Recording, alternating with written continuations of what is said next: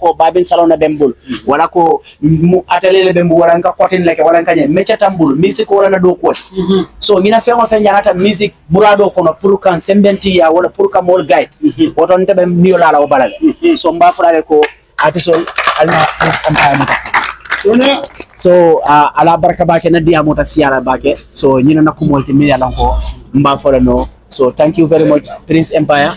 Uh,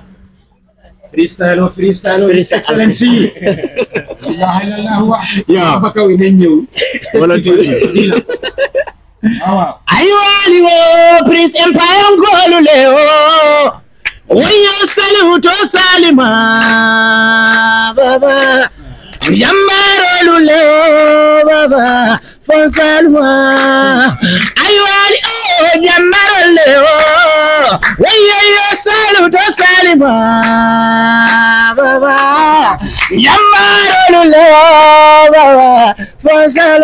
Salute au Prince Empire, salute au BRPS, all media household milibi yang, ane milibi la murado kule nata jang, ane monyo artisol, ah, boy, yana bawai, ah, Swanti, you know, AB Styles, anala management, mbafula beko, andi bara, fula gangster, you know, mbafula ifanayko, saluto, aliyamuta dami, jelong.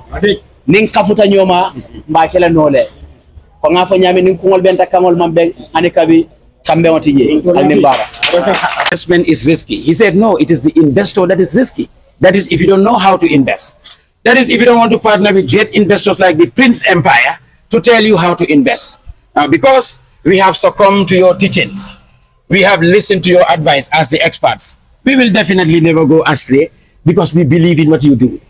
But again, coming back to your capacity as people that are indomi- indomitable and incomparable, we must pronounce over and over the vision and the trust that you have in Gambia.